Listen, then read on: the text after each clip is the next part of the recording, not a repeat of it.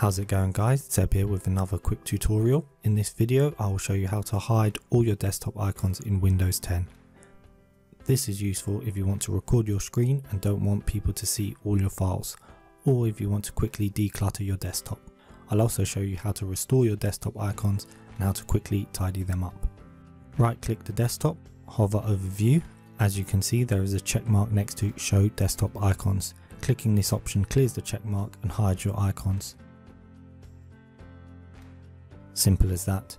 Don't worry, hiding all your icons on your desktop doesn't delete them, it just hides them until you choose to show them again. To get your icons back, simply right click, view and click show desktop icons again and they will be restored. A few other options while I'm here, you can change the size of the icons if you wish, you can make them larger or smaller with these two options. Alternatively, you can also use the scroll wheel on your mouse to resize desktop icons. On the desktop, press and hold Control while you scroll the wheel forwards or backwards.